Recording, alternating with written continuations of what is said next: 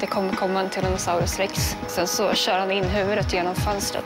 I Outsiders om att vara slav under fobier och tvångstankar. Jag är bara livrädd och får hjärtklappning och ångest. Jag har BDD. Det är en ångest och tvångssjukdom som riktar sig mot mitt yttre och gör att jag känner mig väldigt, väldigt ful. Jag till och med sminkade av mig och sminkade på mig igen innan jag gick och la mig. Jag kallar det dinosauriefobi.